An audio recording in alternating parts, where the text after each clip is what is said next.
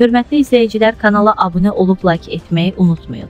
Günün xəbərləri təqdim edir. Sentyabr ayında havanın orta aylıq temperaturunun iqlim normasına yaxın olacağı gözlənilir. Bu barədə ölkə Az-Əla Milli Hidrometeorologiya Xidmətindən məlumat verilib.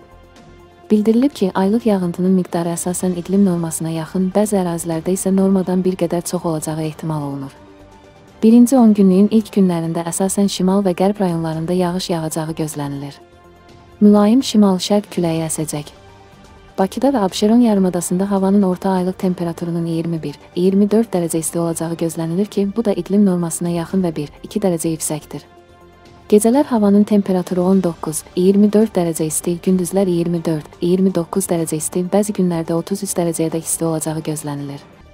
Aylıq yağıntının miqdarı iqlim normasına yaxın, bəzi yerlərdə isə bir qədər çox olacağı gözlənilir.